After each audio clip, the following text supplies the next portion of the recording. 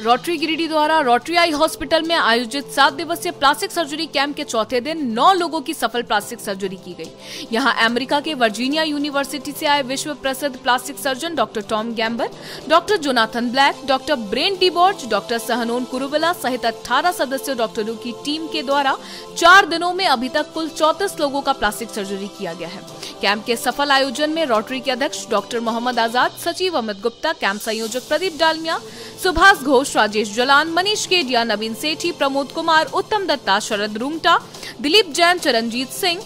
doctor Taraknath Dev, doctor Vinay Gupta, doctor Sheetal Gauri Sariya, Shambhu Jain, Rajan Jain, Vijay Singh, Ashish Tarve, Gurpreet Singh, Sarang Kedia, Sanjay Sharma, Santosh Goenka Amit Dey, Manish Tarve Manjeet Singh, Vikas Bagedia, Jagjit Kaur Kritika Bhartiya Sneh Sethi Shalini Khowala Chhavi Agarwal interest club of Carmel school के बच्चे एवं scholar B college के छात्रों का अहम योगदान रहा।